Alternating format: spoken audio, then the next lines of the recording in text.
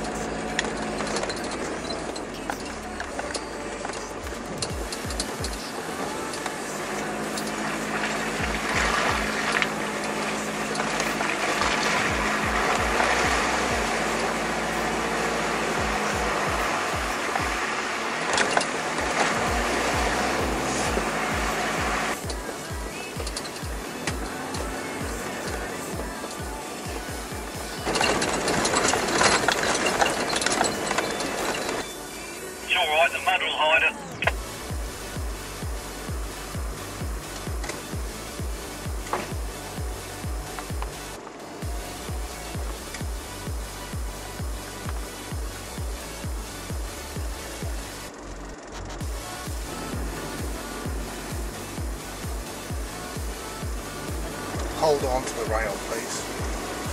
Hold on tight.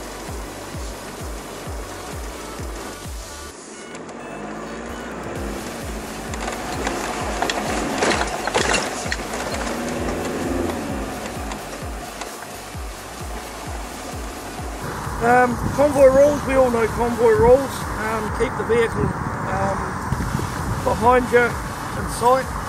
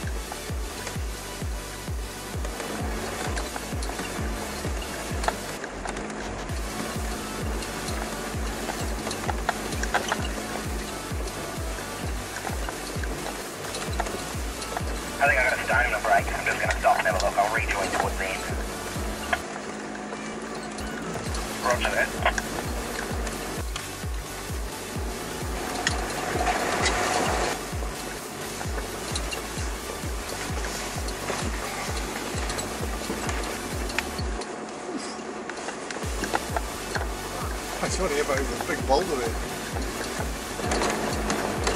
Remember the sign for later as we pass it on our way out. Spoiler alert, we should have made a left turn here and crossed the Rakaia to follow a form track through the matagouri scrub up to Washbourne Hut.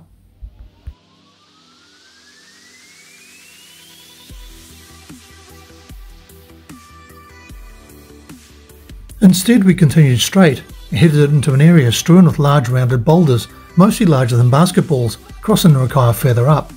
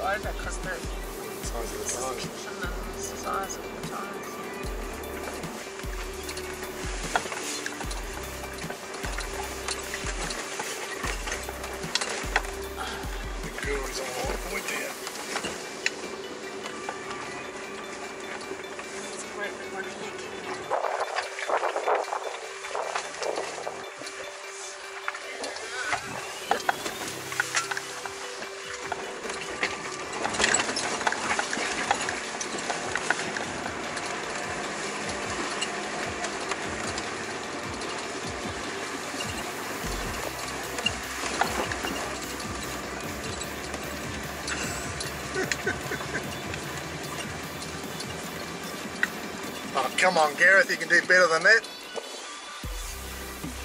Win it down.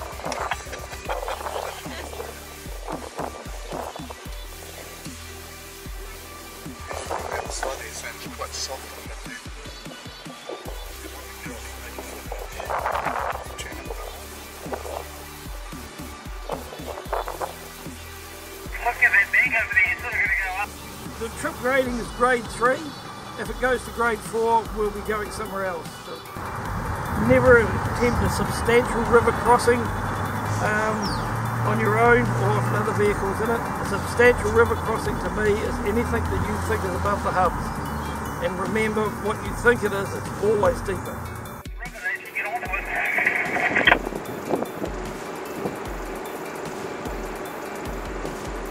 Shit, that is deep.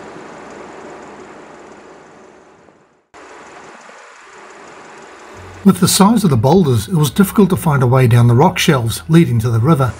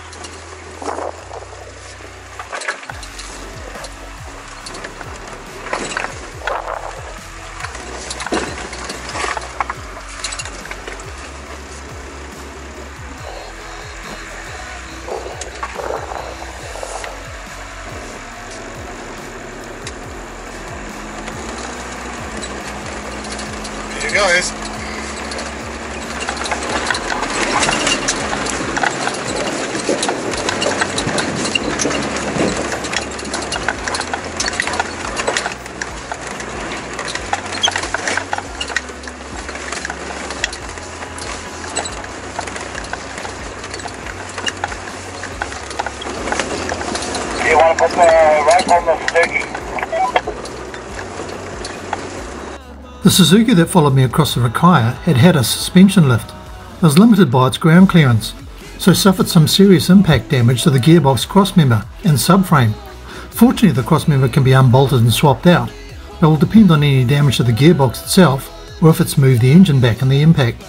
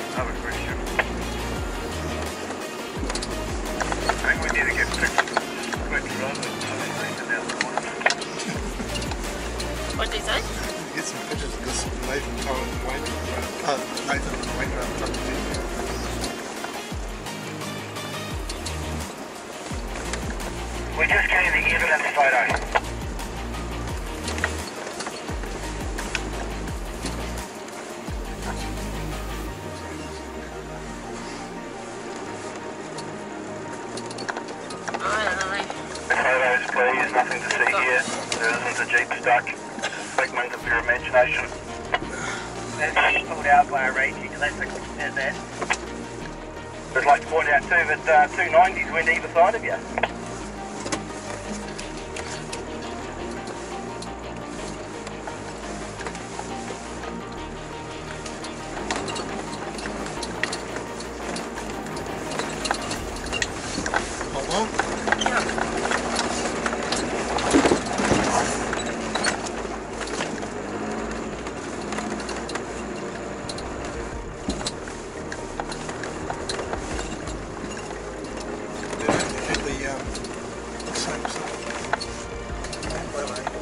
From here was anyone's guess which direction to take. The idea was to avoid the boulder bank that would smash the gearboxes and diff heads.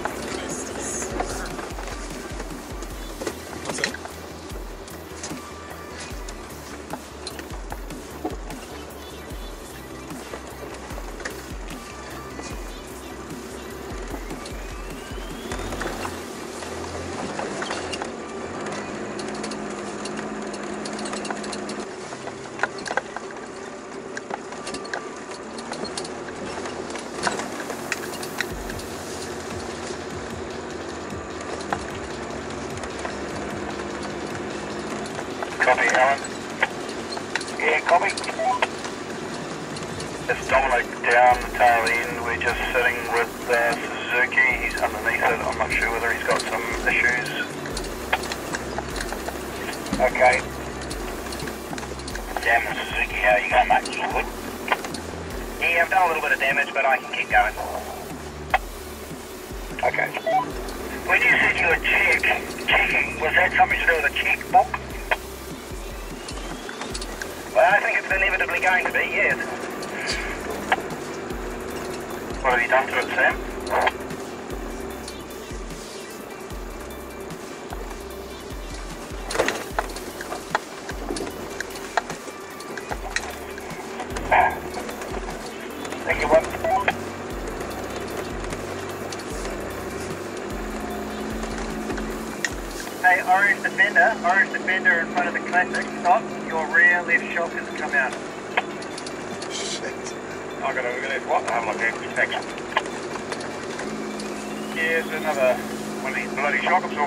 bottom this time. So we'll just take it off and see how we go. Got a trolley jack if that will help. And then a Land Rover that's broken down. Dude, have to clarify broken down. It's just getting modified. Speaking from experience, I'd highly recommend you put some hose clips around the top of the spring to the uh, spring mount. Say that again, mate, please. I'd highly recommend you put some hose clips around the top of the spring to the spring mount. This happened to me um, about four weeks ago. So you're coming Yeah, copy. I'll pass that on.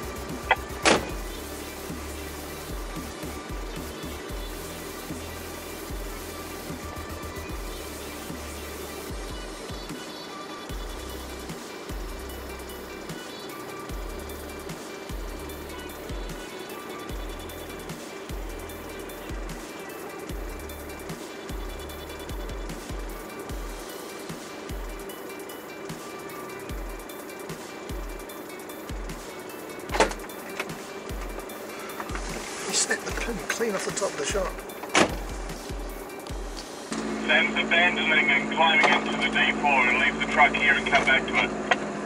Roger.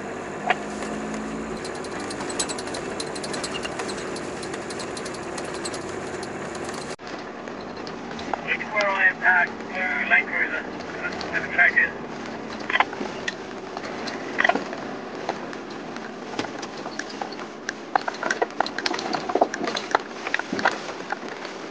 Uh, this is Sean. Um, we're just going to look the orange Land Rover and the Suzuki across to the track, and then we'll abandon leave them there. Oh yeah.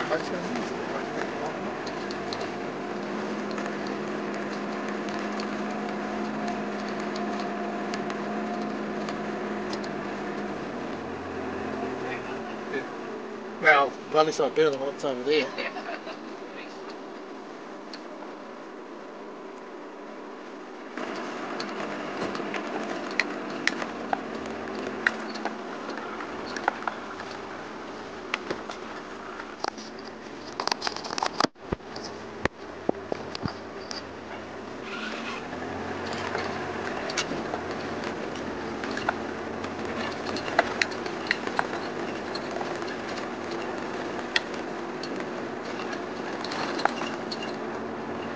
We stopped at Washburn Hut for lunch. By this stage it was approaching 1pm. With our compulsory turnaround time of 2pm, it was decided not to press on to Reischek Hut.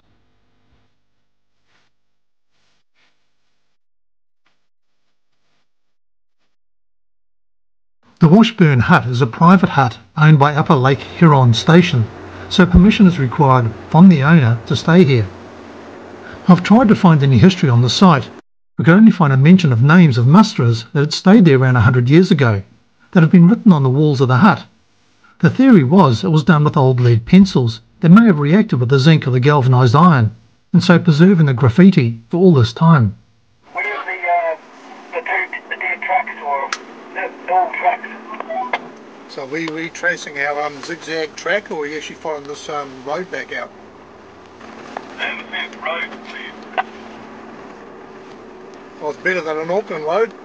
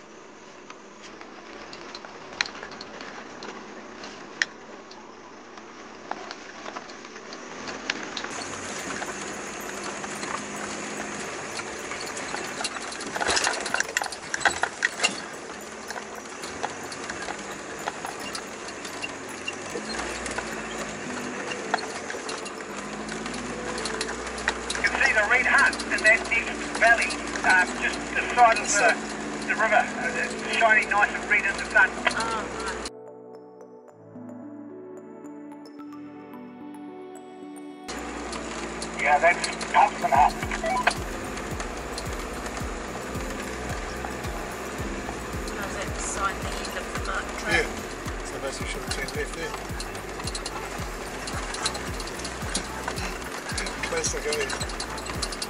Yes. Didn't have time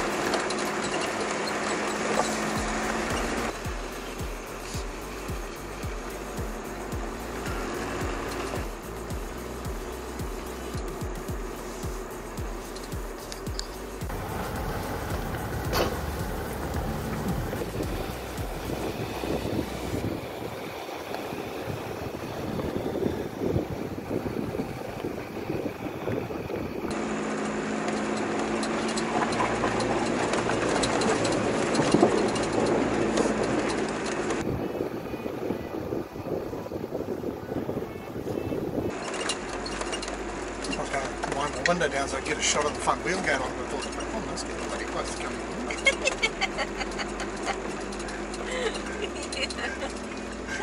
I saw you with the camera in the hand and I thought, You're not going to Yeah. do that. On the dry side of the Rakaia River, we stopped to pump our tyres back up to road pressure before returning down Double Hill Run Road to Methven.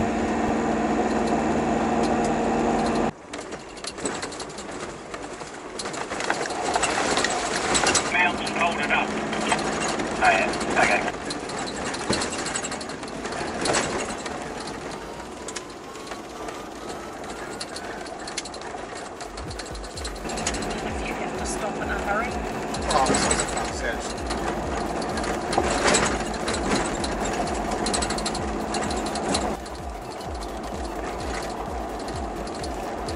Which road do you reckon's the right road? The right road is the right road, The weather took a turn for the better and chucked it down. So the rivers all came up and the ground turned to glorious mud. Yep, it was my favourite day.